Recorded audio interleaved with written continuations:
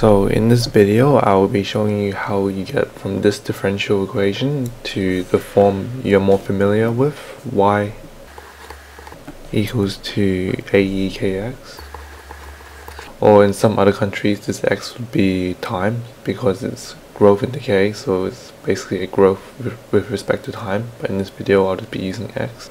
So we start off with moving the variables and separating them to either side. So we have dy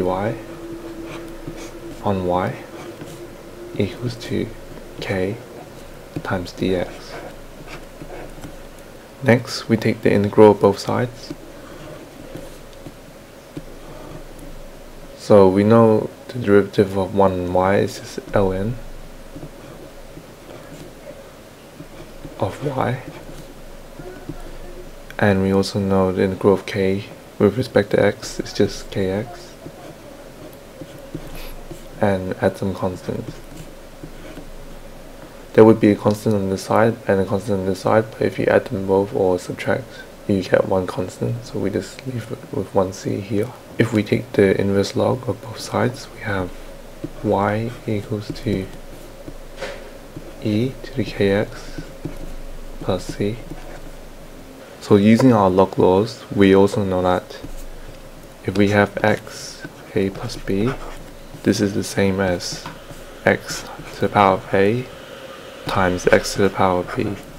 So we would have y equals to e to the kx times e to the c. And what we know about e to the power of c is that this is just a number because e raised to some number is just some number. So we, we call this number a and we, we, call, we denote it e to the power of c. So this a is our constant, so if we substitute this into our equation, we have a e to the power kx. So if we were to call our y the population, p equals to a e k with respect to time. So say we wanted to find the population with respect to time. Our k value determines the instantaneous growth rate. If k is less than 0, our population is decaying exponentially. If it's greater than 0, our population is increasing exponentially. t is time and p is population. A will be given as probably the initial growth. So say you start off with 2,000 people and over time you want to find the population growth. You would call A 2,000